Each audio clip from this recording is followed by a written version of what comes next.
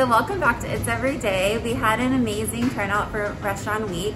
Um, we are so thankful that we got to welcome in new friendly faces in the community into our shop. It definitely helped a lot. Um, we loved seeing many new people that didn't know that we were in Diamond Bar um, right down the street. So we hope to see everyone again. First of all, I would like to thank you to uh, City of Diamond Bar Chamber of Commerce for uh, organizing this event.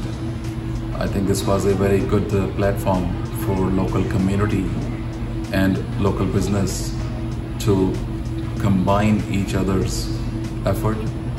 Uh, we had a good uh, response from local residents. We are happy. We got new customers.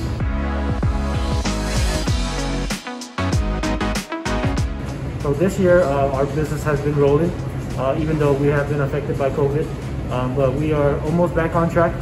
And uh, with, the, with Diamond Bar Restaurant Week happening uh, this last two weeks, we've definitely seen a lot more new faces, people that didn't actually see uh, uh, knew, know that we were here still.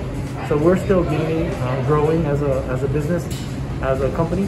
And thanks for thanks to Restaurant, Restaurant Week, uh, we're getting newer customers coming in, and they're telling us that you know, oh, what, how long have you been here?